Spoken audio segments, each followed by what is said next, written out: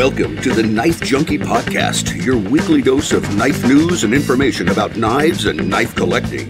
Here's your host, Bob the Knife Junkie DeMarco. Welcome to the Knife Junkie Podcast. I'm your host, Bob DeMarco. On this edition of the show, I'm speaking with a man who probably needs no introduction, but I'll give it to him anyway, and that's Doug Ritter.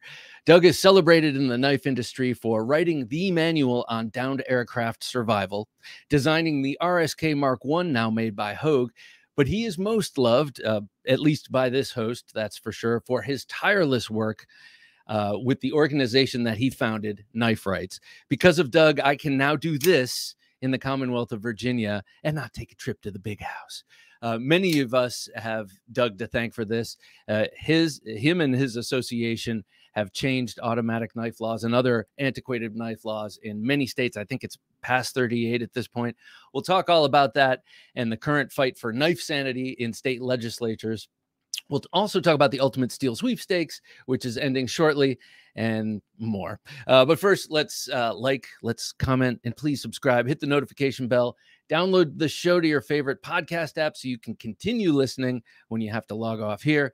And uh, as always, if you want to help the show, you can do so on Patreon. We have a lot of uh, interview exclusives and uh, other giveaways and all sorts of stuff there. Uh, so go check uh, it out on Patreon. That's the, uh, theknifejunkie.com slash Patreon or the QR code. But really, you can also just go to theknifejunkie.com slash Patreon. The Get Upside app is your way to get cash back on your gas purchases. Get Upside is an app you put on your smartphone, and whenever you need to get gas, search your area for savings, claim your discount, fill up your tank, and then take a picture of the receipt with your phone. And that's it. You've just got cash back. Visit theknifejunkie.com forward slash save on gas to get the app and start saving. Again, that's theknifejunkie.com slash save on gas. Mr. Ritter, welcome back to the show. Doug, how you doing? I'm doing great. Always a pleasure to be here. You know, it's basically been a year. It has. looking back, it's hard to believe. Yeah, we've had you on the show. You've been here a couple times. You were on the birthday bash last August. Yes. That was a that was a blast, of course. Uh, and um, but it's always nice to have you on. Not only because you're just a nice guy and we like talking, but it's always good to check in and find out the kind of progress uh, Knife Rights is making. Um, and uh, if you need the quick and dirty, Knife Rights is the organization out there that is fighting for our uh, rights for sane knife rights, uh, reasonable, common sense knife laws. And uh, you've changed a lot of laws in a lot of states. How many states are you up to at this point? So 25 states, 39 bills uh, passed. Um, not bad since 2010. Yeah, not bad at all. I mean, so what does that actually take uh, for for someone who's listening who who doesn't really know uh, what that fight might be like? What what does it look like to you? So, I mean, legislation is uh, not always easy. Um, we uh, because we have a dedicated lobbyist, we travel all over the country. We go to the state house. We work with people.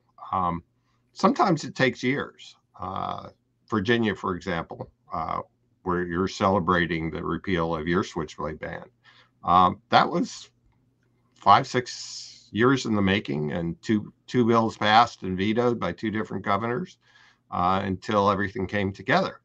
So part of it is just plugging away at it, which you know unfortunately takes a lot of money. yeah.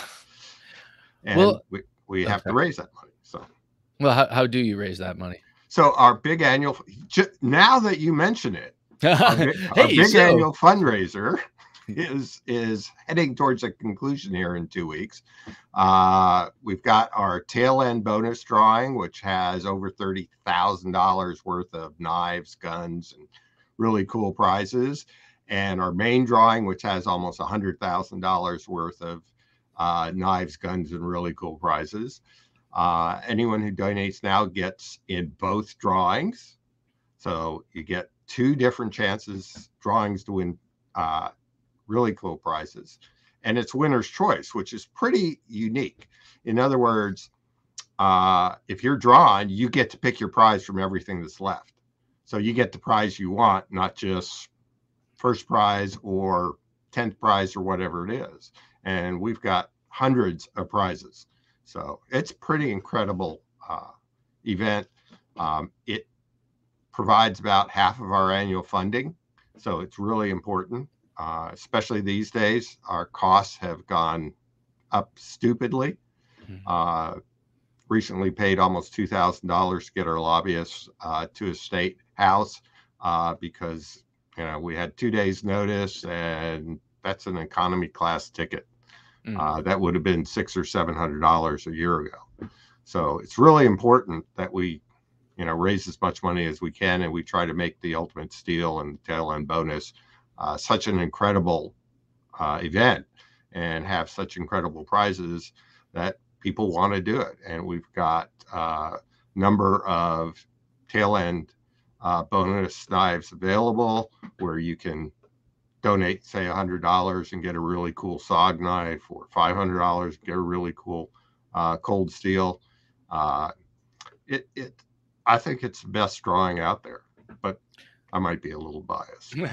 well, I mean, it is for for a knife person, it is by far the best drawing out there because uh, not only do you just kind of enter and get something for sure, like the SOG knife, and but you also have the opportunity to get really crazy like beautiful custom knives at like i mean the the prizes are, cr- are like crazy in terms of how um let me let me articulate.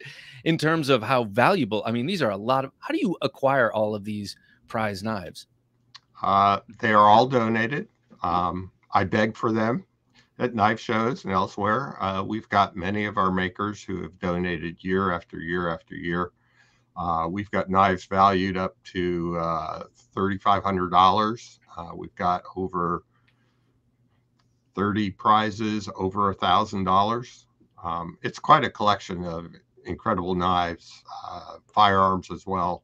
Um, got a knife course, uh, how to make a knife. You want to mm-hmm. go spend five days learning how to make a knife? Uh, we've got one of our makers who's donated that. So pretty much something for everyone. We've got tactical knives, traditional knives, fixed blades, daggers. I mean, you name it. So, um, in terms of, uh, uh, you were talking before about having to spend, you know, the things that people might not think about. Uh, knife rights having to spend two grand just to send a lobbyist to a to a state capital um, in a rush. Is that what it looks like? I mean, why why what is the i mean i think it's an emergency believe me it's knife related but how is it that that you were called upon kind of to to to act that quickly on a knife law so you know so I mean? it is when when you have legislation running it's not like you've got a knife show that you've got to be at you know the date a year ahead of time um, when you've got legislation running, uh, if you're lucky, you get three or four days notice. Mm. Uh, sometimes you get only 24 hours notice. And I or lobbyists have to be at that state house to for a hearing, for an important meeting with a chairman of a committee or or uh, the speaker of the house or whatever it is. And the reason we have been so successful, the reason that we have 39 bills passed repealing knife bans in 25 states is because we show up and we show up every time. And that's how we get things done. You don't get it by sending emails or video, or you show up and you talk to these folks in their offices, and that's how we get it done. But if you don't show up, you don't get it done. What do you what do you find the sticking points are? Um, you know, I think we can all understand what the commonalities are. Um, most of us grow up in some way or another with a Swiss Army knife or a pocket knife, but but when you're there and you're trying to convince uh, legislators, what what are the sticking points? So so you have a couple sticking points. One is inertia. You know, once once the laws is on the books, it's not easy to get it repealed, um, and that is always a problem. Uh, part of the problem is we're very few people's priority. We're very few legislators' priority, so that uh, we have to convince people to pay attention to an issue that isn't making headlines, that doesn't necessarily affect them. Uh, and, and that is a challenge. Uh, now, we're lucky in that uh, we are the only Second Amendment organization that gets support from the left. Um, we most of our bills pass with bipartisan support, um, very strong bipartisan support. Um, so that's part of our secret, but it's also you know it takes time. Uh, it takes time to convince folks to carry a bill. It takes time to convince folks to vote on a bill. Um, and it is the nature of legislators and legislatures to leave things to the last minute. Um, the the legislators legislatures that uh, meet for the entire year have even less of a sense of urgency than those that meet for only 60 days or only meet every other year. Um, so it's always a challenge just to get people to the point where we're important enough to do something about. And sometimes that takes years. It's just take coming back and coming back and finally hitting the right combination of legislators and sponsors and timing. Uh, but if you don't go through that process, if you aren't there every year, if you don't keep up, uh, then it doesn't get done. I mean, New York took nine and a half years, two vetoes, and a trip to the Supreme Court. So it's just one example of how you just have to keep plugging away at this. And that's what we're good at. Apparently, I'm a stubborn SOB. Thank God. Uh, so, but do you find that um, in the eyes of some people, guns and knives are conflated or at least grouped together? And um, is there is there any of that? Um, yeah, you know, I mean, okay. there there are certainly legislators that we deal with, um, as well as witnesses that come and testify at hearings, that can only view uh, switchblade or an automatic knife or a dagger or uh, something like that as a weapon, and uh, that's unfortunate. But again, we get back to the fact that because this is criminal justice reform, uh, and it isn't guns um, we're so often able to get uh, left-leaning legislators to get on board. And I mean, we we've had NRAF-rated uh, sponsors for some of our bills. Hmm. Um, these are people who hate guns, but they're good with what we're doing because it's their constituents that get arrested for carrying a pocket knife with no intent to do anything wrong with it except use it to open a box. Hmm. Yeah. Uh, so this uh, I think it's it, uh, an exciting thing to hear uh, that you get support, bipartisan support, um, only because well, for a lot of reasons. So we need that kind of that kind of coming together in a lot of ways. Um, and if it's knives that are doing it, that's wonderful. But really, uh, the thing that excites me is that uh, it just seems like the stigma is lifting, and uh, to a, to a great extent, especially about the automatic knives. And um, and once you find out that a lot of these laws are either um, um, you know uh, rest the restoration period or the time after uh, what do they call it the time after the civil war when they didn't want uh, black people to be armed or yeah. they're or they're based on james dean movies from the 50s where they thought you know juvenile delinquency was a real issue and that is part of the mix that helps us get things done.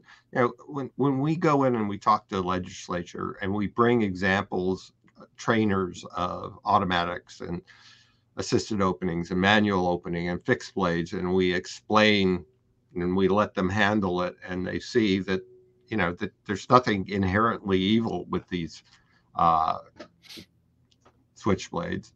Um, it helps those who might you might normally expect to be opposed to this to come to the realization that this is no big deal.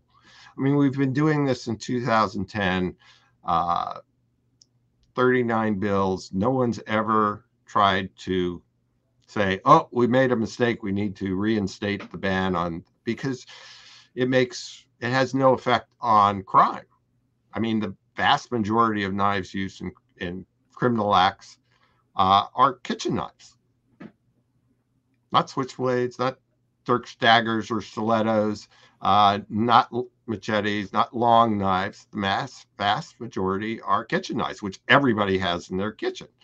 Um, and when you explain that to folks, they go, "Oh, well, that actually makes sense." So a lot of it is just breaking through the the prejudices and bias that is built up because of Hollywood and uh, this this demonization of knives um, you know hopefully we're moving past.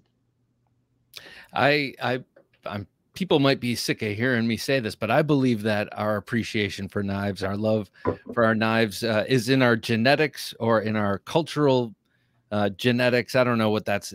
I've I've heard the term epigenetics. I'm not exactly sure what that means, but I think it's so ingrained in us as a tool of survival, a tool a tool of um, wonder. I mean, you know that when the first knife, which is one of our very very first tools, you know that that was high tech. That just like we look at our newest iPhone with a sense of wonder, those earliest knives were looked at with a sense of wonder, and I feel like that's still in all of us. And and I would imagine those legislators who are not so thrilled about guns, they see a knife and it triggers something totally different uh, in them than a gun would. I don't, you know, I don't know that it's that, but when you explain to them that the knives in their kitchen are more dangerous than the knives that we're trying to legalize in terms of, you know, when they've been used for criminal activity, um, it it makes sense to them. It's like okay, well, I have a whole drawer full or a knife block full of these knives, and mm-hmm. yeah, I get it now. Um, lot a lot of what we do is education, and once you get people on board, and then you get the steamroller going, and then you know uh, we make progress. That's how we do things. I mean, Virginia this year repealing their switchblade ban. Ohio, we got preemption done after getting rid of their bans, all their knife bans last year, and changing their terribly vague laws. laws. Uh, Louisiana, we you're now allowed to concealed carry a switchblade. After a couple years ago, we got rid of their switchblade ban. Uh, Alabama and Georgia, as part of their constitutional carry legislation, got rid of their existing knife bans. Um, you know, it it it's all a process. You know, we're working in Pennsylvania still this year. Um, we got out of the the House at a vote of 202 to one. So, you know, we'll see what happens in the Senate after the summer recess. But that's an indication of getting people on board with the fact that you know these aren't evil weapons. There's nothing wrong with them, and I can I can make it. I criminal justice reform is really a bipartisan issue, and when you frame it as such, um, you get a lot more support than if it's strictly a 2A issue or strictly a I want to sell more knives issue, and and that's going to create jobs. So we use whatever tools we can to persuade legislators to get on board, but uh, you know we're we're doing something right, I think. Yeah. Well, what was the fight like here in Virginia? Uh, maybe it wasn't much of a fight at all, but I do remember a couple of years back, uh, this was all brought up and um, it was it was quashed. It was vetoed by our former governor. Um, when you actually by two of your former governors, two, two of them, bills. McAuliffe uh, and yeah, one was one was a switchblade ban repeal, which is what we got done here.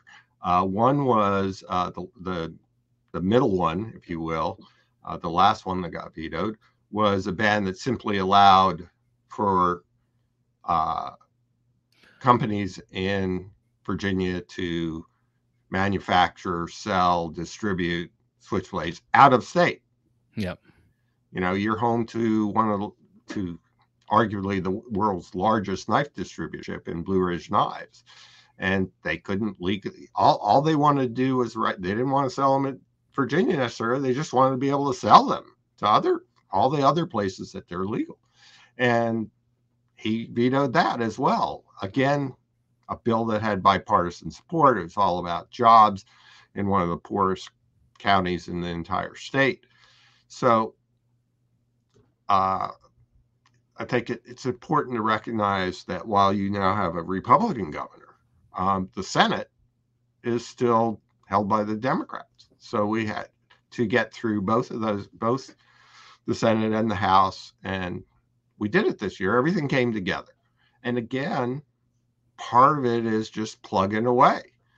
Um, you can't give up. You can't, you know, it's it's inevitable that you're going to lose some and you're going to have some vetoes, but that doesn't stop us from coming back and trying again. And and you know the political landscape changes, and it doesn't take a big change. You know, in this case, it took the governor, uh, but in other places, it just took a small change in the legislature to enable us to get something done, or suddenly someone actually cares about getting it done.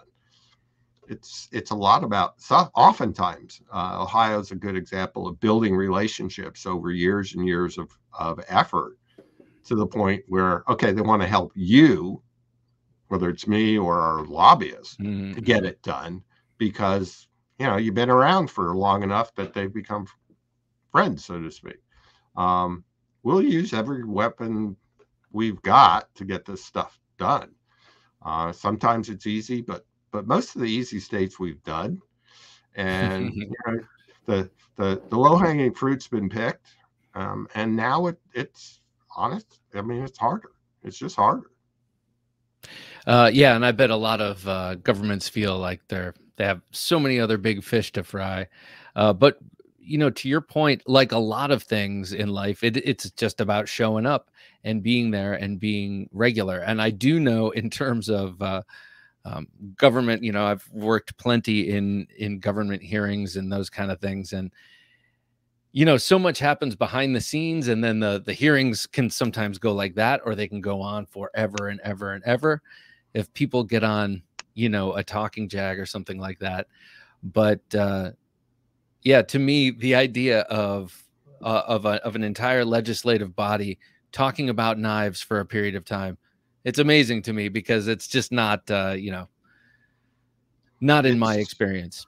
Well, and, and that's part of what we fight. It's it's you know it's very few people's priorities, um, so we have to try and make it interesting enough and useful enough that they can look at it and say, okay, this is worth doing. And that's also often why it's not unusual for us to get our bills to get voted on, you know, in the last hours of a session amongst a bunch of bills that are of lower priority than the budget or serious criminal law or or the things that really get the headlines. And we have to be there to make that happen.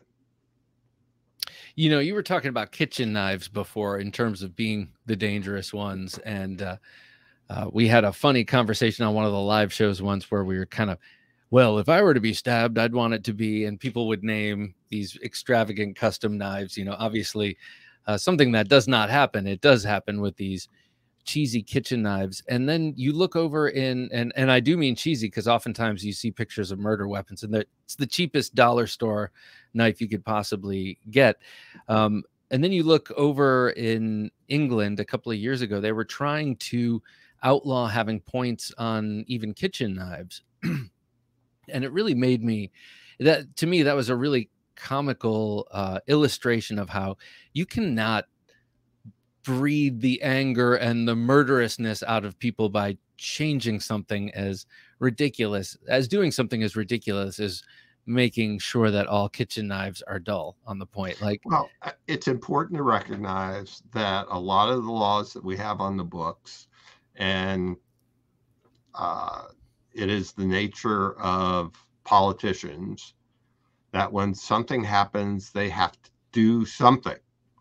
And oftentimes what they do is really stupid. Mm. and you know we we have been party to defeating some of those efforts um, just as we've been party to numerous lawsuits uh, getting rid of bad laws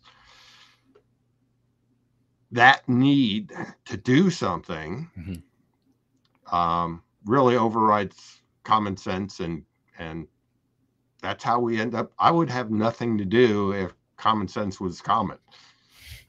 That's funny you say that do something thing and uh you know in in those horrible moments of anguish after school shooting or something like like that that's what you hear a lot of people just do something do something and and i get it because it's such a an emotional um time but that is a really emotional reaction just doing something you know leads to almost always leads to bad yeah yeah just doing something you know uh, and then like you said it takes incredible effort to repeal. You know, it's that common trope. Once your freedoms are are given up, they're so much harder to regain than they would have been just to maintain. You know? Yeah, I mean, and again, I wouldn't have anything to do if we didn't have people that reacted like that, whether it was after the Civil War um, or in the 50s with with automatic knives. That all became pure politics, had nothing to do with reality, whether it was uh, racism after the Civil War, the whole mess with the supposed juvenile delinquents and gangs, which were often persons of color in the 1950s. Again, that's one of the reasons that we get so much support from the left. But they all of these laws are you know, politics is motivated by the need to create headlines to get people elected. I mean, that's the nature of the beast. You know, in the old days, it was newspapers. These days, it's Twitter or that sort of thing. You know, they want headlines, and they don't. They don't get headlines for doing nothing, or certainly not very friendly ones. It's the nature of the beast. Mm-hmm. So they do stupid stuff. Um, and you know, we've spent the last 12 years on doing stupid stuff. Yeah, those decisions that you make in life uh, under duress or um, it, during times of high emotion, um, you know, they can be sketchy decisions. Oftentimes, you might find that you haven't made the right decision. You found something informed more by emotion and imagination. And also, if you're a politician, a desire to make other people uh, think you're doing something, you know, doing something, anything. And, and and that's what we fight. But the the good news is that um, at least in our case, we can go to the legislature, we can present our case, got a good sponsor, work the bills, and and get things done. I mean, when I started knife rights, um, a lot of the reaction that we got from people in the industry was you're never going to repeal the switchblade ban. There's no way to get rid of these laws. It's just the nature of the beast, and we deal with it. And there were relatively few people making switchblades back in the day when I started this. Um, now, you know, all these manufacturers who didn't have automatic knives now produce automatic knives because they can sell them. It, mm-hmm a whole lot more states than when we started, and it's become much more accepted. But yeah, nobody I I would not have bet that I would have been as successful as we've been at at doing this. Honestly, um, it's been a lot harder than I thought it would be because I think that's the nature of life. It's mm-hmm. always harder than you think. Yeah. Um, but it's also incredibly satisfying when we get something done like in Virginia or Ohio, where it makes a huge difference. So for you guys, it makes a difference because you know now you can have switchblades, now you can have automatic knives or gravity knives for that matter. Um, when we did Ohio, uh, one of the one of the best things we did was Ohio had some of the most vague and abused knife laws in the country. And now uh, the only way you are criminally liable for having a knife of any kind is if it's actually used to commit a crime. That, that you know, people have gone to jail for carrying the wrong knife. Now that will never happen. In New York, we had over 70,000 people are prosecuted for carrying common pocket knives. Hmm. Um, that doesn't happen anymore. Um, but that was nine and a half years of effort. What do you think the next or current knife boogeyman is? You know, for so long it was the automatic knife, and that is now um, in many, many, many places legal. I am doing my part to regular uh, regularize it or whatever the term is in the culture. I show people at work. See, now I can carry this. It's no big deal. Oh, really cool. You know, uh, we're we're all doing our thing. But what what is the uh, boogeyman that's coming next? Was it push daggers? I'm, I'm not sure it's a next issue. Uh, automatic knives um, continue to be the boogeyman mm. uh, in virtually every state that we work in. Um, and as I said, we you know we've we've gotten the low hanging fruit. Now we have places like Virginia that took a long time. You know, we're busy in Pennsylvania, which is one of the states, one of the remaining states that has an absolute ban uh, on on possession of uh, automatic knives, with the exception of curios. Um, it's the the dirk daggers, stilettos, uh, the length limits, and stuff like that um, are relatively rare, and we generally get those cleaned up in the process of taking care of automatic knives. I mean, there have been a few exceptions where it's taken longer, like Texas, but generally, you know, if if we can get over the hump with the automatic knives with switchblades, then the rest comes relatively easy. I won't say it's easy, but you know, the the the other thing that we focus on is like we did in Ohio this year is preemption, because it's all very well and good to get the laws changed at the state level, but if you cross the city line and you go from having a legal knife to an illegal knife, which is still a possibility in Virginia, then that is not fair. It's not. Uh, it's not good. It, so so some some in some states we've gotten preemption done first and then got rid of knife bans. and other the majority of states we've gotten rid of knife bans and then gotten preemption. There have been a few states where we've gotten it all, you know, a complete knife reform package in, in one bill. But that's pretty rare you know, we have to come back in Virginia uh, and get preemption done. That's the next step. So you don't cross the city yeah. line and find yourself, okay, now I'm a criminal.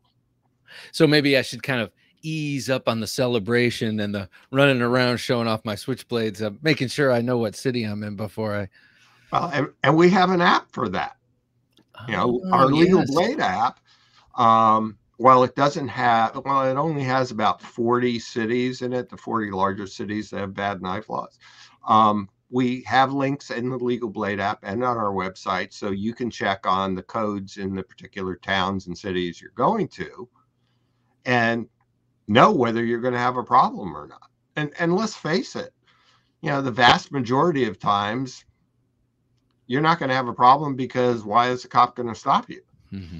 But the calls I get are, well, I had a traffic stop, or, you know, I was drunk, or, and then everything starts falling apart. Hmm, yeah. So it's not a problem until it's a problem. And then it's a huge problem. And then it can be a huge problem.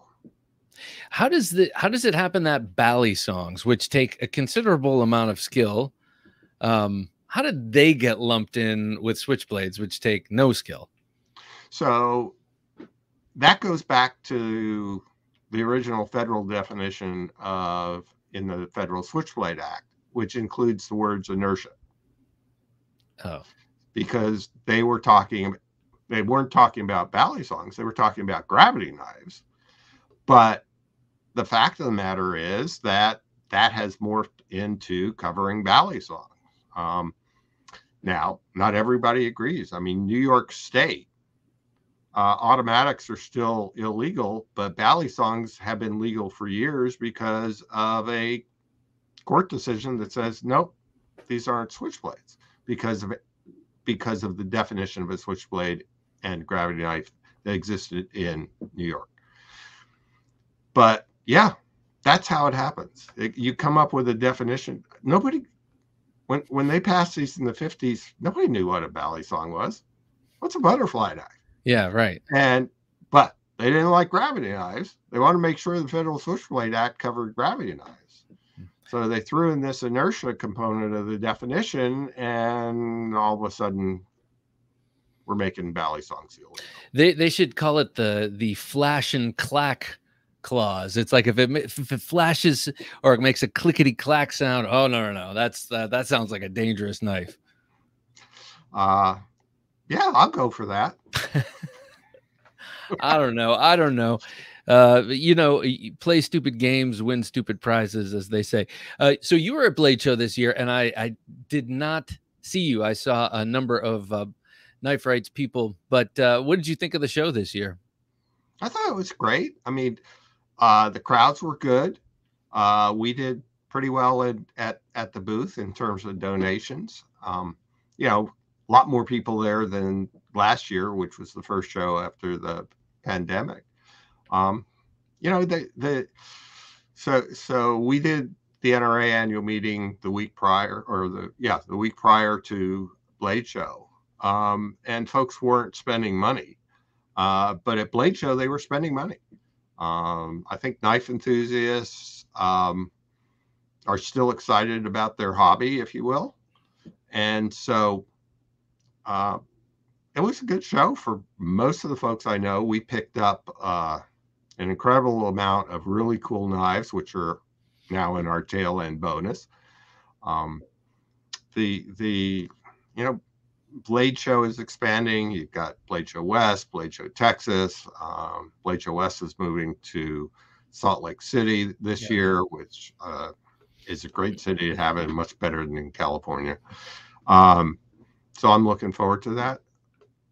That the the enthusiasm that we see from uh, knife collectors and those is really great, and you know we like some of those folks or a lot of those folks to support what we're doing because you know the reason they can buy a lot of the knives that they can buy is the work that we do. And i can't do it without the funds. It's that simple. I don't like that. But we have to raise funds in order to pay expenses and do what we do uh, i i think that uh, the enthusiasm between or, or, or maybe the maintained and only ever increasing enthusiasm of the knife buying public. Um, I mean, I saw a huge uptick just anecdotally uh, during the pandemic when people are at home saving money just being home, and some people got um, stimulus checks on top of other stuff, and so they were spending money and still saving money at the same time. So I think a lot of people were buying knives. I think that never. Oh, there's no question. Knife sales increased exponentially. It was like Christmas every day. Yeah, and you get hit by inflation. Well, there is a host of really well-made, inexpensive knives these days, uh, coming out of uh, factories, magical factories in China that are just producing incredibly well-engineered knives for a song. Uh, so really, I think knife collectors, if they needed a, a fix, so to speak, and they, uh, you know, didn't you know they they had pandemic money but not that uh, chris reeve money well then maybe they're buying a couple of Civivis here and there. I just feel like it never slowed down and by the time i got to blade show yeah it was a blockbuster. People could not wait to get there. Uh, you know this this is uh, good for the community. This is good for us. Um, when when industry is doing well um, I, I'm certainly not complaining because I have a stake in this. You know, I can't I can't do what I do with knife rights if if I didn't have my own knife line that's been doing very well. So, you know, it's it's all good.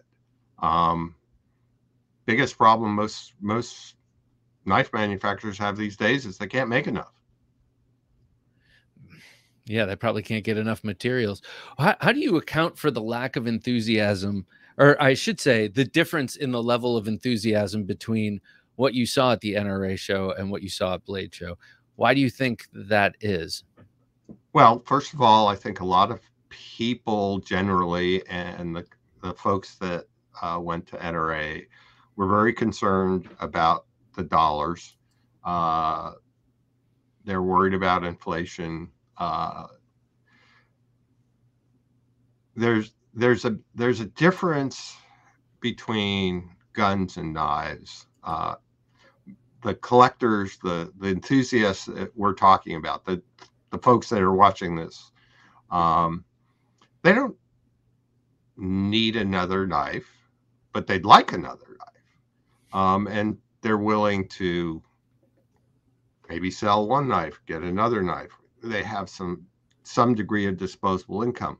The the dollars and cents involved are are not incredibly large.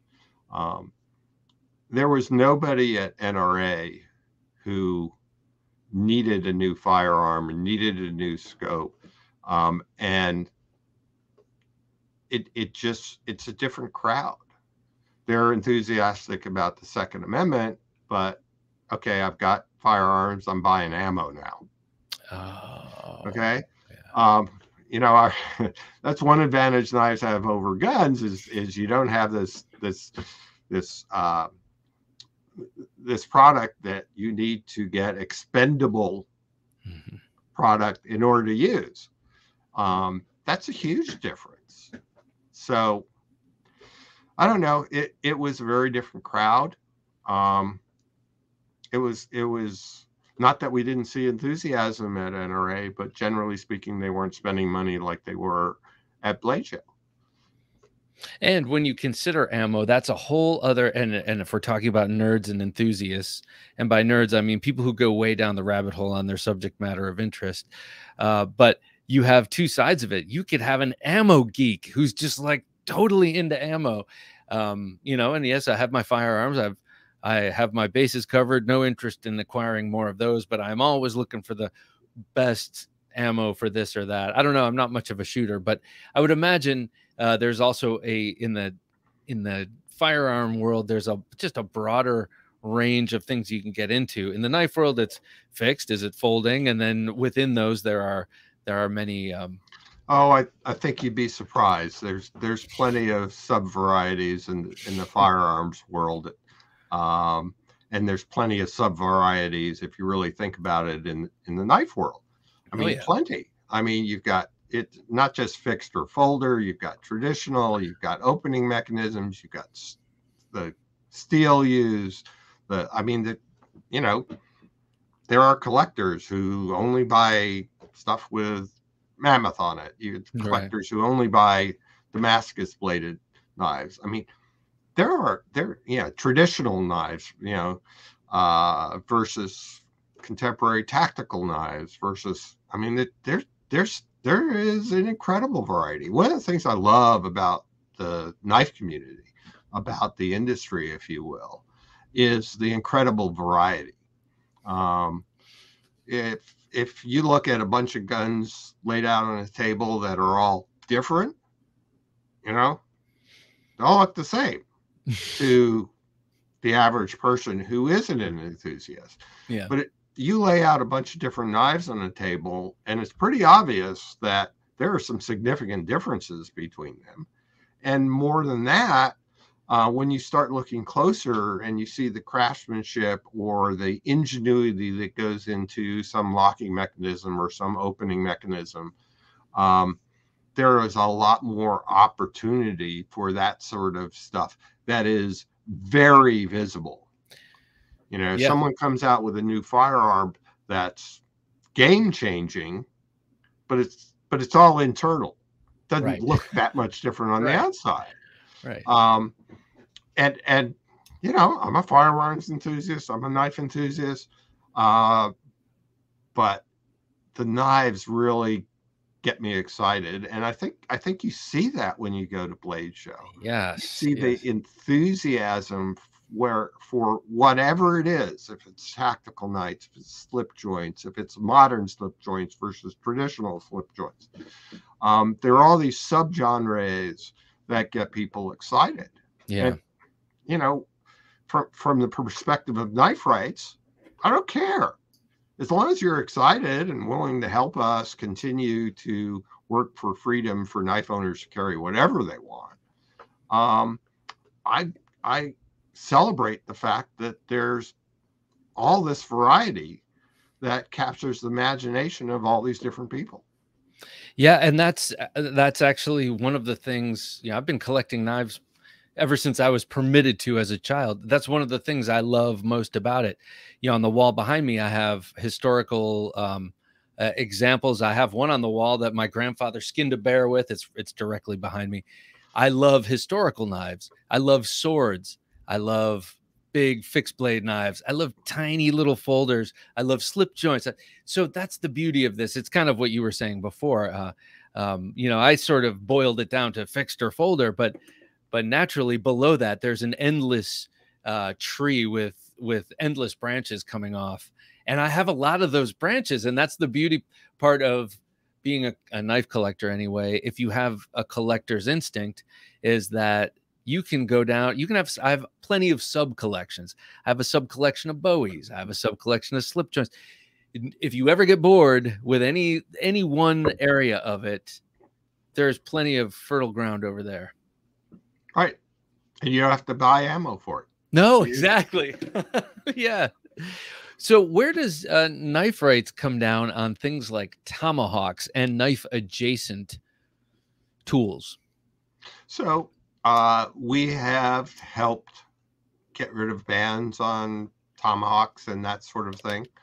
Um, we are knife focused, given the opportunity, um, which sometimes arises to get rid of bans on whether it's tomahawks or clubs or knuckles. Um, we certainly don't shy away from that. Mm-hmm. Um, but we also deal with uh, an even greater amount of prejudice, if you will, of bias towards things like knuckles. Um, that oftentimes it's a question of, you know, we'll try to repeal an entire statute that includes switchblades, knuckles, other stuff. Um, and in order to get it passed, we need to get rid of all that other stuff just to get the knives passed. And if that's what it takes, that's what we'll do. But sometimes we can get it all done. It mm. just depends. But we are, you know, we're we're in the knife rights business, not right. the tomahawk or or knuckles rights business. Yeah, they, they got to um, get their own guy. and and we're happy to bring them along with us when the opportunity arises thrilled to bring them along with us when the opportunity arises um, because you know it all boils down to the fact that it's not the inanimate object it's the person using them that's the problem um, and anytime we can get rid of a ban on an inanimate inanimate object i'm all for that so when we get the opportunity we will yeah, more freedom equals more freedom. You mentioned before something about uh, cleaning up when you're going state to state and you're working with the actual language of these laws that you that you attempt to in any case clean up the language talking about dirks and daggers and bowies and kind of some of these older like I'm vague about what a dirk is. I it's like a naval it's like a naval naval long knife as far as I know, but I don't even know what the hell a dirk is. Some of the language in these things is is sort of antiquated, right? I mean, sure. I mean, look how old it is. It's, well, it, I, I guess what I mean is is leaving it in like a, a tripwire. In other words, oh, we're going to just leave this dirk part in here because no one knows so what a I, dirk is. I, I've been, I'm happy I can tell you that we've never found ourselves in a position where we've had to do that. We've had some situations where we've had to negotiate lengths or something like that, where there's been length limits, and over time, eventually get rid of those. Um, but when we go in, the goal is to get rid of all the restrictions on knives. And that's where we start in most cases. Um, sometimes we go in in a difficult state Virginia being an example, Pennsylvania being an example, where, okay, let's do switchblades because believe it or not, that's the easy one. Um, and then we'll come back and clean up and take care of other stuff or take care of the concealed carry issue or that sort of stuff. Um, it every state house is different. Every legislature is different. Uh, the politics can change overnight. Um, you know, we can have we had a bill going in Pennsylvania that I thought we had a really good chance of passing like five years ago, six years ago. Um, and then there was a terrible stabbing at a school. And, you know, at that point, nobody's going to touch your bill. Yeah. So, okay, we'll come back because we have no choice. It's the nature of politics. You know, if, if, it, it, they, they say you can't be a good salesman unless you can take rejection. Well, you can't be successful at politics unless you can stand the frustration of having your bill killed for something that rationally doesn't make any difference or because you know a couple of legislatures are having a pissing match and your bill ends up in the middle of it. Mm-hmm. it's just the nature of the beast. It's incredibly frustrating. Um, but you know, if you want to do this and do it successfully, you're going to be dealing with that sort of thing. You're going to be dealing with vetoes from governors who who shouldn't be vetoing a knife uh, by any rational measure. So, you know, it's it's it's just it's what we do. It comes with the territory. Yeah, you got to have thick skin to do that kind of work, no doubt, and you also have to have conviction and a love for what you're defending. No doubt about that either. And um, you know, we're not going to talk much about it uh, because I know these things they, they, just can't keep them in stock over at KnifeWorks.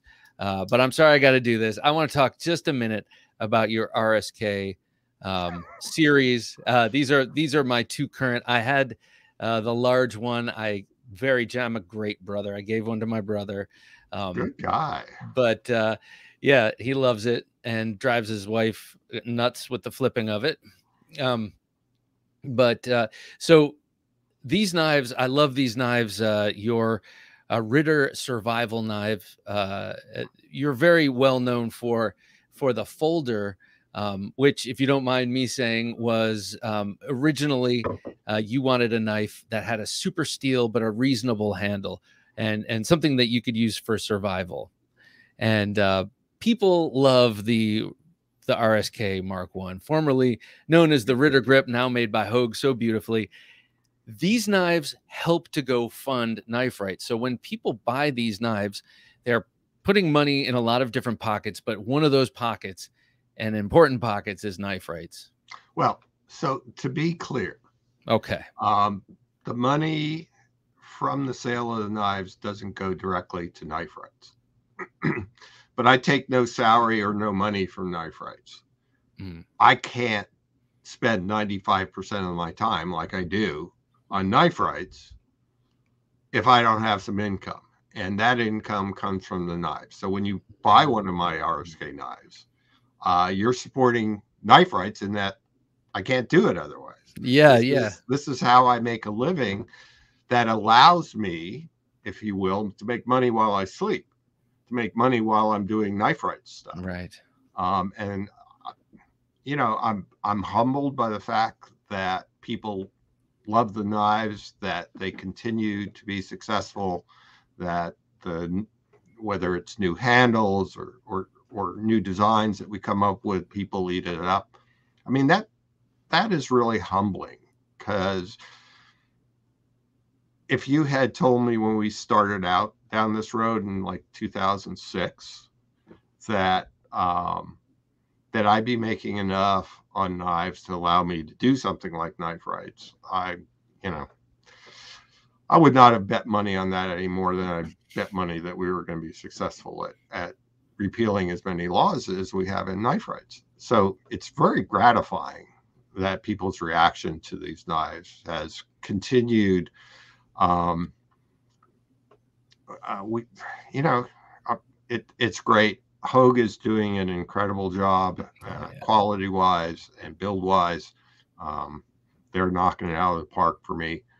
It's really become a really super partnership. I don't There's, know what to say. I mean, I, what I, I hope people continue to buy the knives so that I can continue to do knife rights work. I mean, that's the only way it works. Um, but having said that, we, you know, please go to kniferights.org and click on the Ultimate Steel because we still, you know, we still have expenses, and those knives don't cover that. Right, and and the knives, uh, you know, that that is a long way around for support. I mean, for immediate and the most important support, it's to go to the Ultimate Steel and to donate there because that's immediate cash on hand for Knife Rights to pay its bills and and do do the work you're doing. Yeah, it's, you know, I love the fact that the knives continue to be successful. If if anything, growing uh, success. Um, I love the fact that people love the knives. Um, I just received uh, an email from a gentleman in South Africa uh, thanking me for the knife because it had literally saved his life. I mean, wow, that's that's an incredible feeling. Oh, and I, you know, a lot of knife designers have been in that situation, and I mean, it doesn't get much better than that because um, the the the motivation to develop the the RSK line of knives was to provide a incredible value with all the all the design features that I wanted in, in terms of uh, quality steel, quality lock, quality build at a price, you know, if not inexpensive, but at a price that someone could spend and afford to spend and use the knife. You know, I think it's yeah. great that there are people who collect my knives and you know have every model and color variation that we've ever done. That, that's that's incredible that someone does that. Um, but it's also incredible that the vast majority of the knives are bought to be used. Mm-hmm. And they're used every day, and that's what I designed the knives for. That was that was the design brief, if you will, is a knife that people could afford, a knife that people that that people would use and appreciate, um, that fit well in the hand, that had good steel, that held its edge. You know, and and and it continues. It's it's an evergreen design, if you will. Yeah, and there's one thing you didn't mention, and that is that it has a uh, it's a good looking knife, and that matters. I don't care what you say, Thank but you. it's a it's a good looking knife with boundless character, and and that will that will keep people coming back. Uh, um, I love that knife. I love your designs, but uh, even more than that, I love knife rights. Let people know how they can get in on the tail end uh, drawing of knife rights, and just remind people what it is in case they're just tuning in. It the easiest thing is go to kniferights.org. Click at the top of the page is the link to the Ultimate Steel. Um, we've got, like I say, over thirty thousand dollars in the tail end bonus, over almost a hundred thousand dollars, uh, or just over a hundred thousand dollars in the main drawing. So there's two drawings. If you donate now, you get your opportunity to win in both drawings. Um, and if you go to the site and look at the prizes, um, we have some incredible knives. I don't care whether you collect slip joints, whether you collect tactical knives, fixed blades, hunters. I mean, whatever you collect, we have some of. Kitchen knives. I mean, there's something of everything there. Um, and just some incredible uh, knife makers who have been incredibly generous for us. You know, I, I can't do knife rights if we don't raise money. It's really that simple. And with inflation, you know, the sad fact is it's becoming more expensive. You know, we talked about how expensive travel has become, and that's one of that's one of our very biggest expenses. And right. you know, when the price of a ticket doubles or at least goes up 20, 30, 40 percent, um, that that hurts. That really hurts. Well, Doug Ritter, thank you so much for coming on the show, and thank you for so much. Uh, thank you so much for everything that you do with Knife Rights. It's greatly appreciated. And uh, well, man, I'm sad I missed you this year, but next year I will. I'll catch you in person again uh, at Blade Show. But again, sir, thank you so much. It was a pleasure. My pleasure. And everyone go to kniferights.org and help us continue this job that we do for your freedom. Do you carry multiple knives, then overthink which one to use when an actual cutting chore pops up? You're a knife junkie of the first order.